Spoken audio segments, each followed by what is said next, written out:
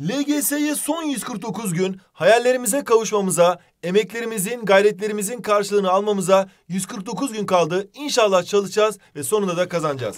Günün sözüne baktığımızda arzuladığınız başarılara ancak çalışarak ulaşabilirsiniz demiş George Clason diye bir vatandaş. Çok güzel bir söz söylemiş. Gerçekten de biz çalışıyoruz ve hayallerimize de ulaşacağız. Günün yorumuna baktığımızda Esra Akyıldız diyor ki 974 beğeni almış. Tebrikler Esra. Çok fazla dikkatsizlik yapıyorum ne yapabilirim? İkinci sorusu da gün geçtikçe stresim artıyor ne yapabilirim demiş. Şimdi öncelikle birinci sorudan başlamak istiyorum. Dikkatsizlik birçok öğrenci için önemli bir sorun. Bununla alakalı bilim insanlarının bulduğu çok farklı yöntemler var. Birincisi arkadaşlar uykunuzu ve beslenmenizi iyi yapmanız gerektiği gibi mutlaka mutlaka dikkat egzersizleri yapmalısınız. Mesela bunu evinizde kitaplarla yapabilirsiniz. Diyelim kitabı açtınız.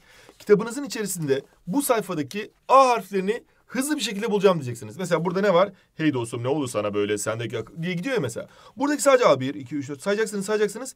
Hızlı bir şekilde ama çok kısa bir sürede. Saydıktan sonra bunu saydıktan sonra diyeceksiniz ki acaba gerçekten doğru mu? Bakacaksınız aa şaşmışım fazla ya da eksik. İşte bu şekilde A'ların sayısını veya K'lerin sayısını daha az olan bir harf de seçebilirsiniz. A'dan çok fazla var. Mesela sadece Ç'leri bulacağım. Evet, evet. 17 tane.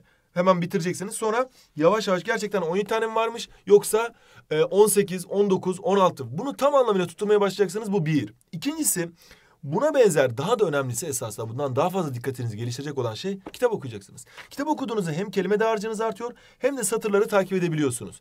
Aynı zamanda özel şekiller var. Bu şekilleri çizmeye çalıştığınızda da zaten insan aynısını çizmeye çalışırken zorlanıyor ve dikkatini toparlamak zorunda kalıyor ve ister istemez de dikkati gelişiyor. Mesela ben şu anda bu şekli düzgünce çizdim ya.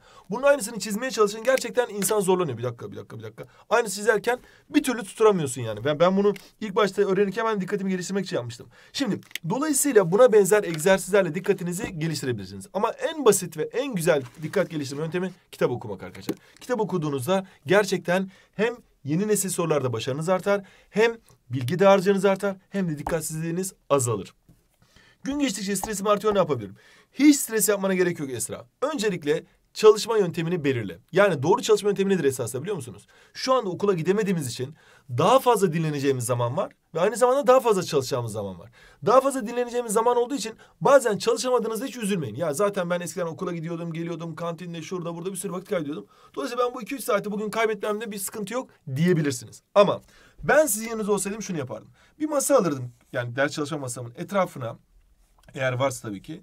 Ders çalışma masam yoksa da onun eee, bulunduğu yerlerin etrafına mutlaka mutlaka öğrenmem gereken bilgileri, unuttuğum bilgileri, işte fen bilgisinde olabilir, inkılap tarihinde olabilir, işte matematikte olabilir, Türkçe'de dil bilgisiyle olabilir, hiç fark etmez. İngilizce'de kelime olabilir. Bunları sanki bir kopya kağıdı gibi duvarlarıma asardım. Yani şöyle düşünün mesela Milli Eğitim Bakanı diyor ki bu sene pandemi nedeniyle LGS'de kopya çekilmesine izin verilecek. Öğrenciler yanlarında bir kitap getirebilir ve pardon bir kağıt getirebilir ve bu kağıttan bakabilir. Deselerdi siz ne yapardınız? O kağıda işinize yarayacak tüm bilgileri yazardınız. Gidip herhalde şunu yazmazdınız. Özel kişisel düşünce içerir, nesnel kişisel düşünce içermez. Ya bunu yazmazsınız. Bunu zaten biliyorsunuz. Bunu zaten sorularla tekrar ediyorsunuz. Daha detaylı, daha önemli, daha çok unuttuğunuz şeyleri yazardınız. İşte onları yazıp karşıma asarım ben. Sonra da alırım kitabımı. Teker teker soruları çözerim. Soruları çözerken takıldım mı? Karikada okuturup soruların çözümünü izlerim. Hatalarımın üzerinden geçerim. Ve tabii ki de orada hata yaptığım yerin resmini çizerim. Yani buraya bilgilerimi yazmıştım ya ben şöyle. Tek tek bilgileri yazdım mesela. Şöyle göstereyim. Buraya yazdım işte inkılap tarihinde şunları bilmem lazım. Fende bunları bilmem lazım. İngilizce'de bunları bilmem lazım dedim ya. Takıldığım sorunda hemen şöyle üstünü çizerim. Dedim ki bilginin. Ben bunu hep unutuyorum. Bunu unutmam lazım diyebilirim. Dolayısıyla çalışma ortamınızı bu şekilde süsleyerek biz zaten o yüzden akıl haritaları sizlere gönderiyoruz. Akıl haritalarını kendiniz yapabilirsiniz ya da bizden de ulaşabilirsiniz. Bu şekilde stresinizi azaltırsınız. Yani hani sınavda kopyanın yanında olduğunu bilmek kötü bir şey aslında. Kopya çekmek çok kötü bir şey ama hani önceden kopya hazırladığında ne oluyor? Çekmesen bile, yanına koysan, götürmesen bile sana bir huzur. Diyorsun ki ben çalışmamı yaptım. Cebimde kağıdım var, her şeyim hazır. Kopya bile çekmeme gerek yok diyorsun ondan sonra. İşte LGS'de de kopya bile çekmenize zaten yasak öyle bir şey düşünmeyin bile. Ama onu önceden hazırlamış olmak size bir huzur verecek. Ben bilgilerimi koydum kardeşim. Benim burada bilgilerim.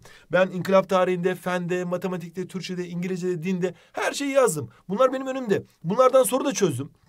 Ve çözmem gereken tüm soru stillerini gördüm. Yani ilk başta mesela diyelim ki bir konuyla alakalı yapmanız gerekenleri şöyle yazacaksınız. Diyelim ki X dersi. Bu matematik olabilir, fen olabilir.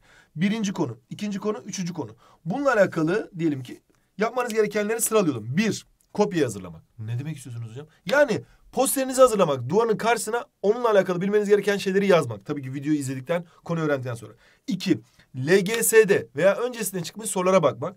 Üç, Tonguç kaynaklarından çözmek. Dört, başka kaynaklardan da çözebiliyorsanız çözmek. Ve bol bol Milli Eğitim Bakanlığı kazanım testlerini çözmek. Her şeyi çözdüğünüz zaman zaten LGS'de de yapabileceğinizin en iyisini yapacaksınız arkadaşlar. Günün kararına baktığımızda Türkçe Zoru Bankası'nı görüyoruz. Milli Eğitim Bakanlığı müfredatına yüzde yüz uyumlu bir şekilde yeni nesil beceri temelli sorularla hazırlandı. Buradaki soruları çözemediğinizde kod okutarak soruların çözümünü uzman hocalarımızdan dinleyebilirsiniz. Bunların her biri sizin LGS'de dejavu yaşamanız için üretildi. Nasıl yani hocam? Aa ben bu sorunun aynısını görmüştüm ya diyebileceğiniz sorular LGS'de soru yakalamak için bizim hazırladığımız özel kaliteli sorular arkadaşlar.